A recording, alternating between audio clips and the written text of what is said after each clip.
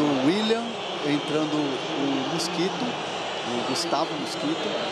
E agora o Júnior Moraes. Tentativa da bola mais longa lá pelo lado direito. Chegou dividindo. Nestor chegou bem para dividir ali o Júnior Moraes. O Paranaense, né? O jogo aqui no Morumbi será a estreia do São Paulo também. Não se sabe se é sábado, se é domingo, se é segunda, enfim. Atlético Paranaense. Na segunda rodada o São Paulo vai pegar o Flamengo no Rio. E o Corinthians recebe para o Pablo Maia. Hum, rapaz. Que a... Júnior Moraes deu ali no jogador do São Paulo. Ele não pegou na bola ainda, né? O Júnior Moraes não pegou na bola. Mas já levou o amarelo. Eliminado do campeonato e já levando o seu cartãozinho amarelo sem pegar na bola. Que beleza. Público. Diga. 53.924 torcedores. Curiosidade. Mora do Jandrei.